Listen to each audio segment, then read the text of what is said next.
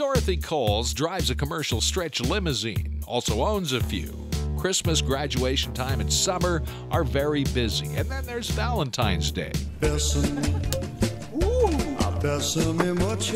get a lot, receive a lot of calls, and demand is quite high. And it's usually just one couple going out in a limousine to dinner, and sometimes they have an overnight stay at a hotel.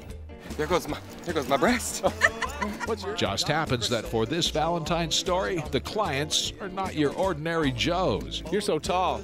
Crystal, tell me what do you what do you like to do during Valentine's? I just spend time with my fiance and just taking it easy. Yeah, and this group of friends, of course. You Oh, like to go absolutely. We all party together. My name's Godiva. Yes, and Ruby Slipper. yeah, so you're having a nice limo ride at Valentine's. Is that it? Absolutely. It's always fun and extra romantic. Oh, really? You too? Yes, Dorothy makes us all feel glamorous. I call them the girls, and they're a lot of fun. And they like to get dressed up, and uh, they just want to do a tour around town today. Obviously, Valentine's inspires all kinds of folks, and a $150,000 stretch limo is one decadent way to celebrate. Well, we usually include a tour through town and down Whyte Avenue in the limo, and they have their bubbly in the back. Yes, uh, TVs, videos, that sort of thing. Yeah, there's a DVD player and uh, stereo, and It's the glamour. It's people watch a limo drive by, and then to see this come pouring out of a limo adds to the top of it.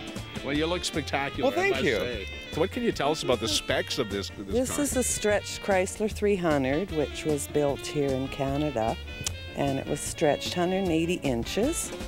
And this is the only one in the province. It's got the Hemi engine, so it likes to go. We have been in this one a couple of times. We rent it for big parties. We love to just cruise around before going to the bar. Yeah, well, you get noticed, I think. and- Totally. And getting out for shows, it's even more glamorous when you show up to do a show in this. Of course, people don't need to be ultra glamorous to do a Valentine's Day limo, but they might end up feeling that way if they do. It's a treat for me to chauffeur. I've been doing it for 18 years, and no two days are alike, and no two groups are alike, and it's a lot of fun. Happy Valentine's to everybody. This is Tim Dancy.